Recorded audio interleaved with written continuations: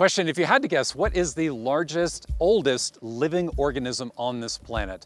What would you guess? Well, I bet many of you right now are probably thinking it's a whale, maybe an elephant, when in fact the answer is right here behind me.